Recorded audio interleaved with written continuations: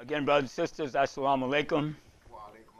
Alhamdulillah, Abduhu was the Inuhu, was the Dihi, was the Piruhu, was Shadullah, Waqtuhu, La Sharikullahu, was Shadu, and Muhammadan Abduhu, wa Rasulullah. Praise is due to Allah. I praise Him, I seek His assistance, and I beseech His guidance. And I ask for His forgiveness. I bear witness that there is no deity but Allah, the One. He has no associates. And I bear witness that Muhammad is the servant and His messenger. Ameen. Alhamdulillah. I want to start, brothers and sisters, from reading Surah 16, ayats 68 through 69. And it reads, Bismillah ar-Rahman ar-Rahim. And thy Lord revealed to the bee, make hives in the mountains and the trees, and in what they build. Then eat all the fruits and walk in the way of your Lord submissively. There comes forth from their bellies a beverage of many hues, in which there is healing for man. Therein is surely a sign for people who reflect. Hadeen, surely Allah speaks the truth. So, Allah is always telling us to reflect, to think, to ponder. And people access the Quran very different, uh, differently from what is the real purpose of the revelation. In general, very few people know the contents of the Quran in the Islamic world. In the 52nd ayat of Surah Ibrahim, Allah states, Bismillah ar-Rahman ar-Rahim, this is a communication to be transmitted to mankind so that they can be warned by it and so that they will know that He is one God and so that the people of intelligence will pay heed. Allah speaks the truth. So we're going to go into talking about signs today that Allah has revealed to us. And in many ayats, Allah emphasized that one of the most crucial purposes of the Quran's revelation is to invite people to ponder, to think, to think. In the Quran, Allah invites people to reject blindly accepting the beliefs and values society imposes upon them and to ponder by pushing aside all the prejudices, taboos, and constraints on their minds. We should perceive that the entire universe, including ourselves, is created by a superior power even when we examine our own bodies or any other thing in nature, you will see an impressive harmony, plan, and wisdom at work within its design. Everything that Allah created is perfect. The designs are perfect. The signs are there for us to take heed to think, to ponder. It's very important. Allah says it all through the Quran. So those who can observe and remember will see that the entire universe is only composed of the signs of Allah. The whole universe is number signs of Allah. This is the responsibility of all of us to be able to see the signs of Allah. Now let's look at one of these signs. I mentioned the first ayat about the bee. Now let's look at the social life of the bees. Okay? A lot of them put that in there for no reason. They must want you to look at the bees and look at the signs for a reason. Bees carry out numerous tasks, and they manage them all with excellent organization. Excellent organization. You know, I like the surah that I uh, mentioned at first about the bee because it speaks about many signs. And that's what I want to touch on today signs, like I said. Okay? Are you aware that bees, they work in teams? They work in teams or in groups, just like the ants. And Allah speaks about the ants also in the Quran. These are workers. Bees and ants are the greatest builders.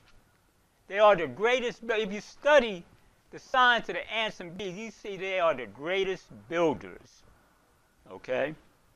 The ants are very strong also. They have a system set up.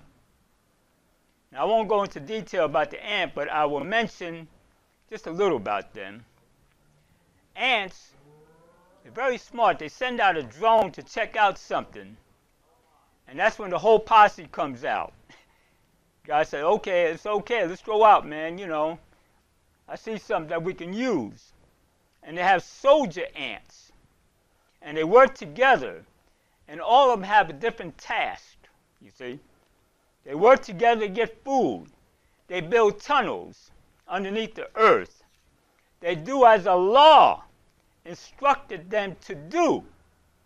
And if we operated like the ants and the bees, we ourselves would know how to build civilizations and colonies if we worked like them We would know how to work together in a civilized order on a higher frequency. And ants work on a frequency. All nature has a certain frequency, believe it or not. You and I both have frequencies, okay? But this frequency is of a higher order. So, but many look more at the animal kingdom. Most men, they look at the animal kingdom and study that and take on the expression of a lower being that we shouldn't be tapping into as our representative, as a representative. It's the ants and the bees that we should be tapping into rather than us trying to be like a lion in the pack on the street, okay? That's the way some of us like to be. The lion will not attack a group of zebras because they can get kicked in the head and it'll be over for the uh, lion. So the lion, he goes for the one who's alone. So we as a people have to move together in groups. We have to move together in groups. We don't want we don't need to be out there solo by ourselves. We all of us, Muslims, have to work together in a group. The most powerful beings on the planet work together in groups. It's called Harambee in Swahili. They pull together in teams. Okay? It's not about you and me as separatists. It's about us coming together, maybe creating our own society from everyone else. That would be powerful. We have to come together and be creators. We are the little creators, okay? We as a people always have to go to other societies for our needs. Why do we have to go to everybody for our needs? Huh? Why are we going to the Yahudi, the European, the Indian, or whoever? We always going to everybody for our needs. No, we shouldn't. We have to build our own, produce our own. I said we have to pull together in teams, like the ants and the bees. We have to sit together and brainstorm on how to build our communities. Some of us want to be like dogs and lions, that's not going to work. We have to stop being like animals and be more like the insects. Insects know how to work together. They know how to work together. animals are always fighting at times, sometimes killing each other. Okay? But if you study the ant or the bee, you're studying two of the most intelligent beings on the earth. Yes, that's why Allah speaks about them in the Quran. It's important. That's what we got to read this Quran. This Quran is so powerful. There's so much in there. There's so much science in there. I mean, just to really benefit us. It shows how to live in society, how to build society, how to be better Muslims. You see? We should be way far ahead than where we are now. But we're lagging behind. The Western got further further uh, uh, uh, uh, in advancement than we have. You see? So we as a people are suffering from what they call colony collapse. Now, let's go back to the bee. We're going to use the queen bee as an example. When you take the female, the queen bee, and disrupt her natural flow, everybody and everything in her colony collapses. The queen bee. Okay? How does the bees operate? Bees are very intelligent. The Quran tells you that. The bees have an order. Now let's look at the queen bee again. She says to the other bees, this is how the bees operate. Look, I need you to get out there and get some pollen from a farm that's five miles away. There's some petunias out there. Go get that pollen. Go get that pollen and bring it back to me. It's the queen bee discussing to the other bees. And bees usually have to fly long distances, okay, and scan large areas to find food. They collect flower, pollen, and the constituents of honey within a certain range. A bee which finds flowers flies back to its hive to let the others know about their place where they can find this pollen.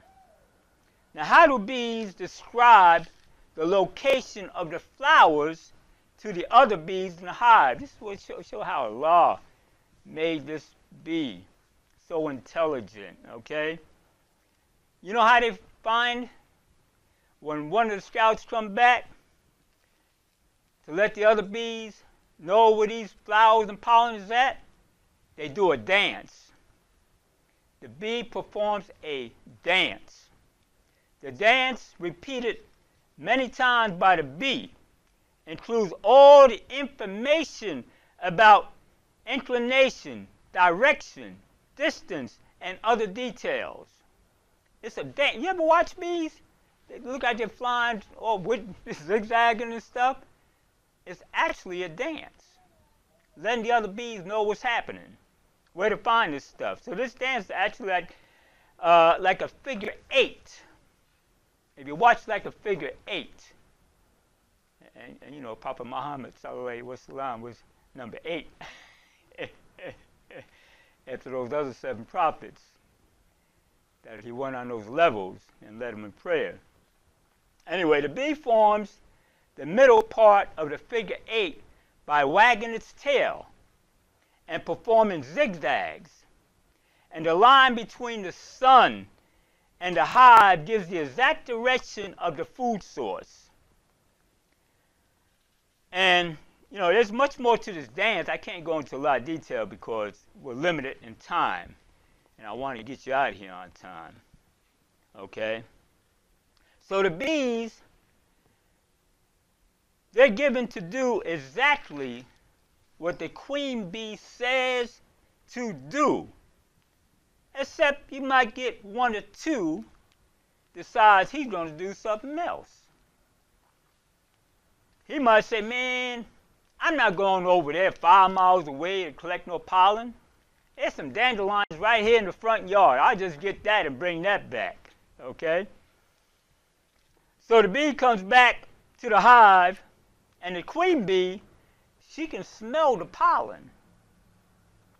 She can feel it.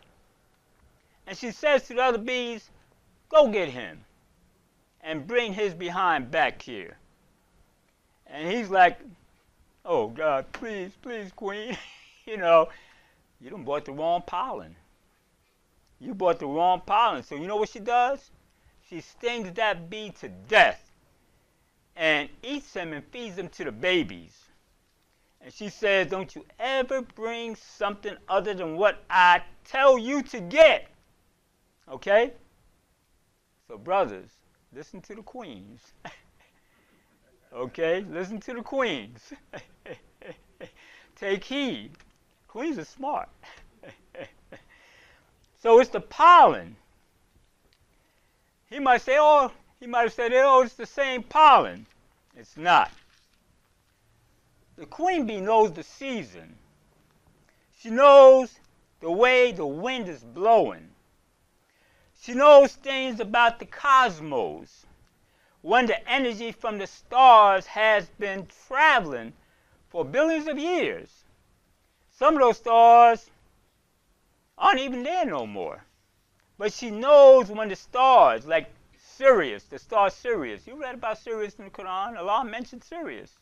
He didn't mention that star for nothing. That, that's, that's a powerful star, Sirius.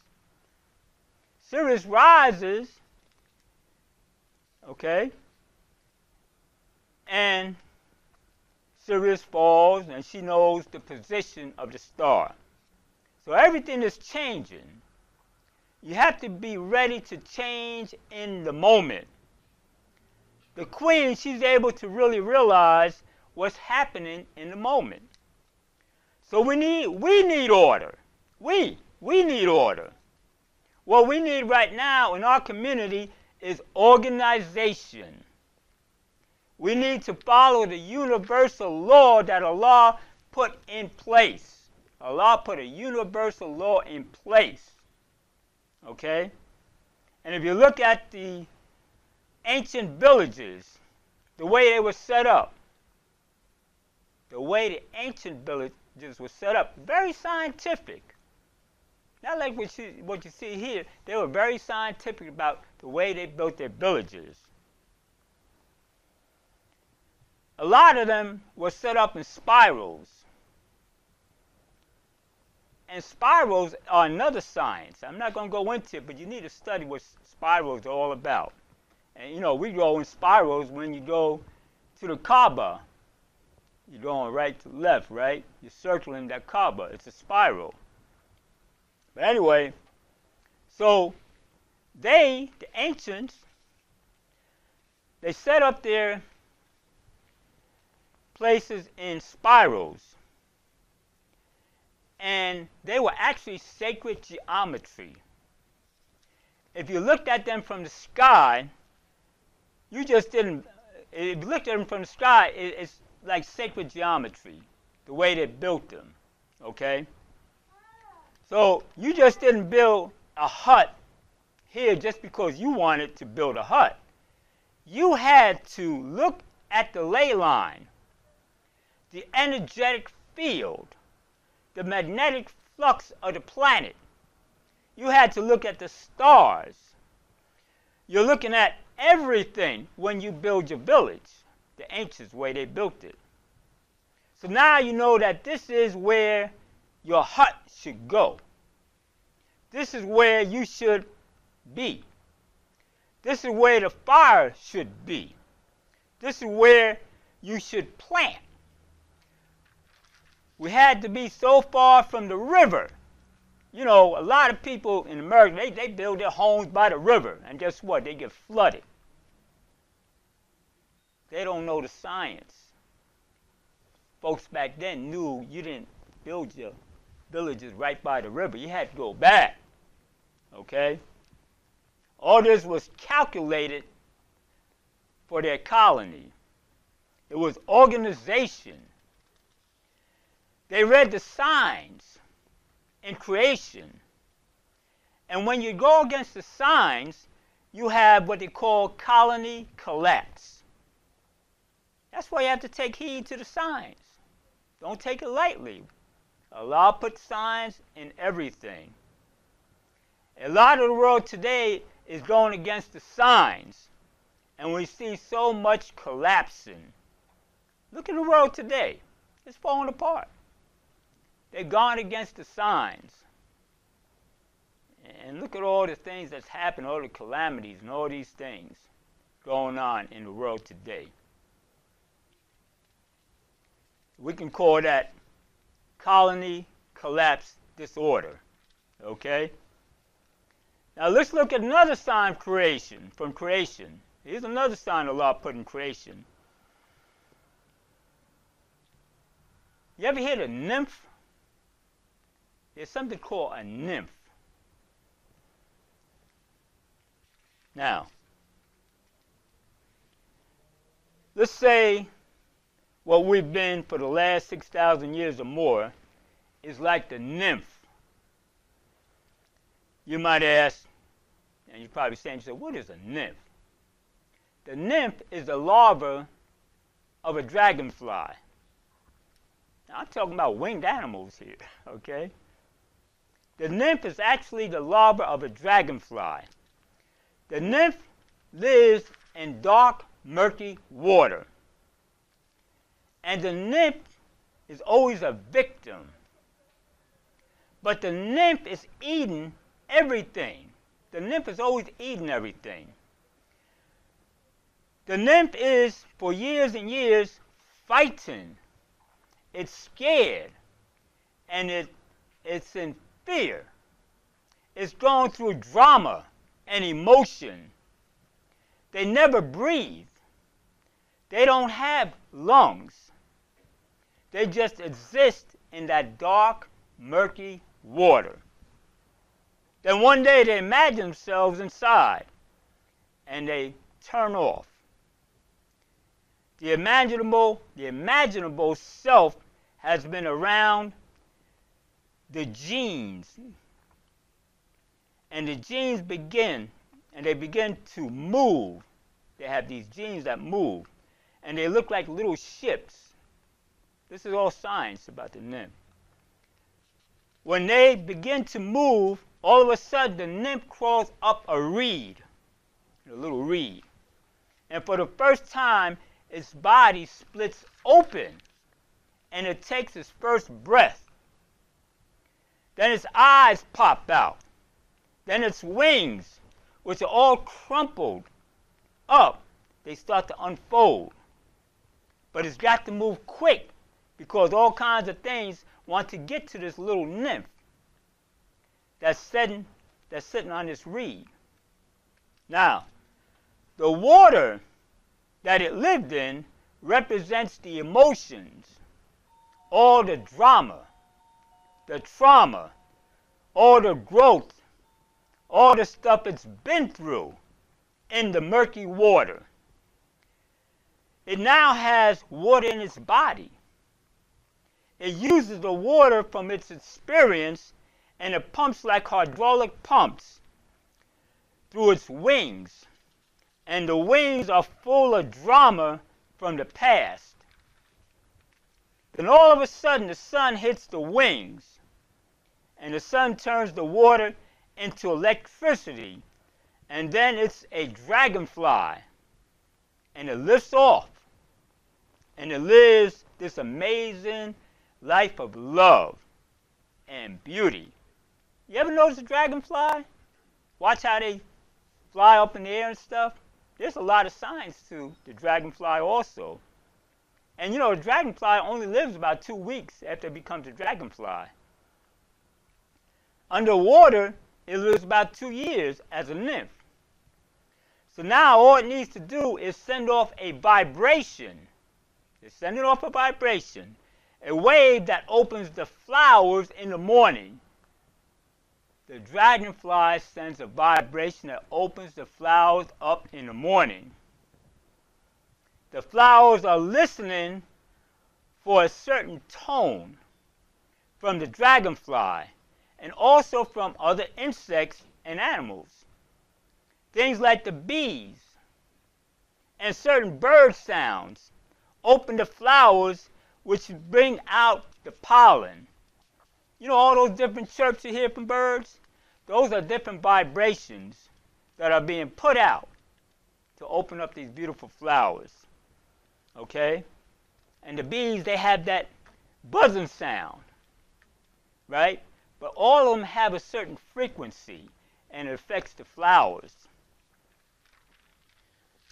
And just like the 21st of March, which is the first day of spring, all of a sudden, all the pine trees in the northern hemisphere pop open. And the male pine flowers put out the semen of the forest, what you call pine pollen. That yellow pollen feeds everything. It has all the nutrients, and the whole forest eats that, and that, and that's what gives its drive. See, Allah, Allah got everything in perfect order in creation. Everything works together. Everything in the universe is one. Universe, one verse, one ayat. All working together. But when you realize that everything is a perfect ecosystem, even our craziness at this time is a part of the even flow and the up and down, the growth and the decline. This always happens, and it depends on your mindset. It depends on your mindset, brothers and sisters. Once you get that, you say to yourself, I'm going to do my very best. I'm not going to follow the crowd. I'm going to elevate myself and show my beauty, just like the dragonfly. Huh?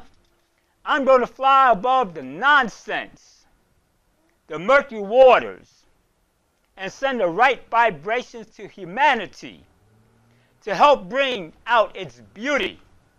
That's how we got to do as Muslims. Elevate ourselves. Bring out the best of ourselves. Bring out the beauty. And watch how humanity changes. Send, send out the right vibrations. Yeah, we got vibrations, okay? So humanity can open up and get the best of themselves just like the flowers.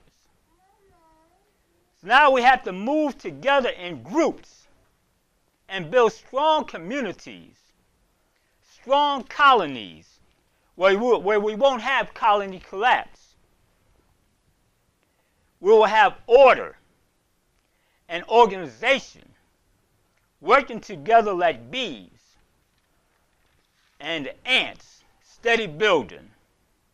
Again, Allah put signs, ayats, all over the creation for you to reflect, to think, to ponder.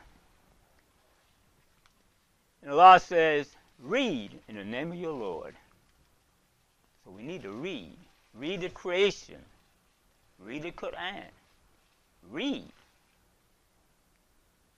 It's going to benefit you. Think. For thinking benefits the thinker close part one and off a door.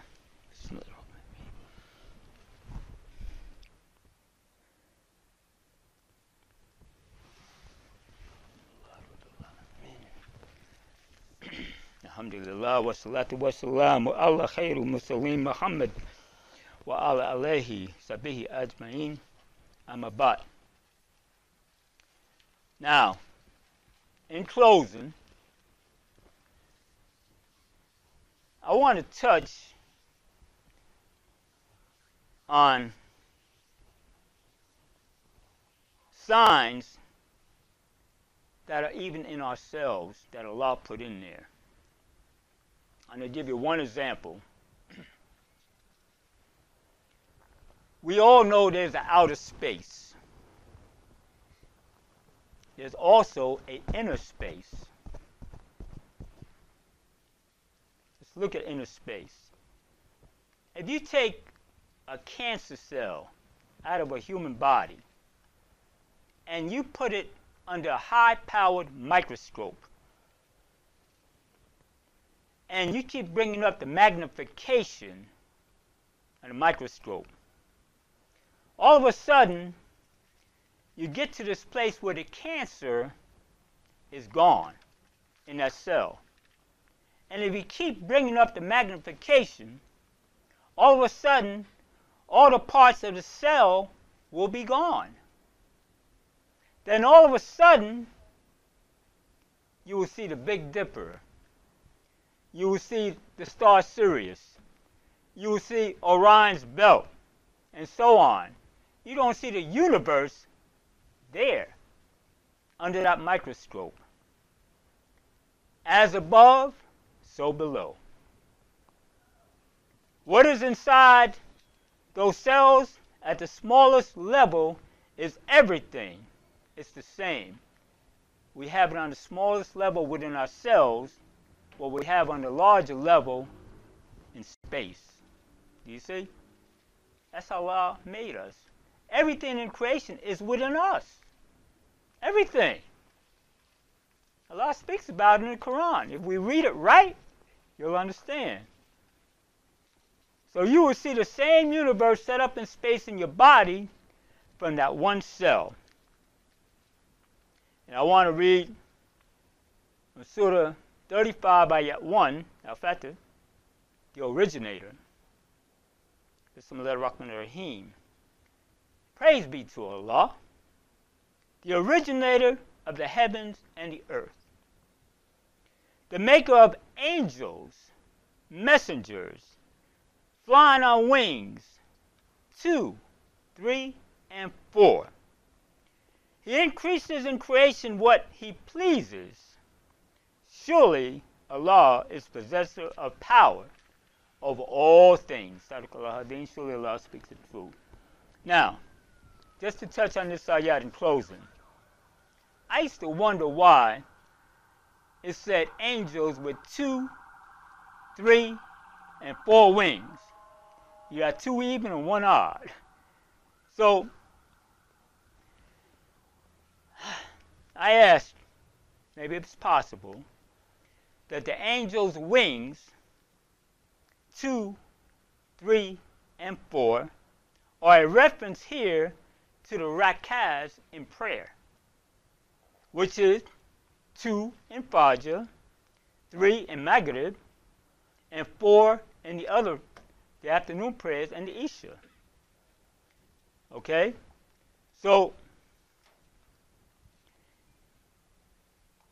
I said to myself, maybe that's what Allah is telling us. it's those prayers. In prayer, man and woman hold communion with Allah and is raised to spiritual eminence. He and she, as it were, flies to Allah on his wings and the angels are the agents, which make him and her fly to Allah. Their wings thus standing for the rakaz in prayer. That's just the way I see it. Inshallah, hopefully, maybe that's what it represents. okay? So, I want to close. I pray you all got something out of this that might help you but remember, think, ponder, reflect, as the Quran says. Study this Quran. It's, it's so beautiful. There's so much information in there. It's your manual for life. It tells you how to live your life. And if you apply it to yourself, you don't have a good life. Okay? You don't have heaven within yourself if you apply it. So we'll close with Surah 35 by ayat 3. Bismillah ar-Rahman ar-Rahim. O men, call to mind the favor of Allah to you. Is there any creator besides Allah who provides for you from the heaven and the earth? There is no God but He. How are you then turned away?